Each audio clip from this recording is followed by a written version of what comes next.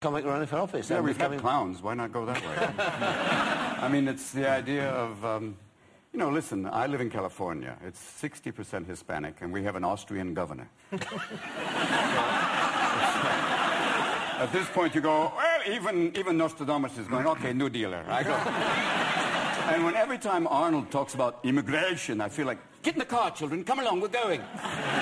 We must go towards Nevada, and you feel like there's Julie Andrews in the hills going, the hills are, quickly go. And Arnold basically wants to solve the immigration problem by building a wall, which even the Chinese are going, this will not work.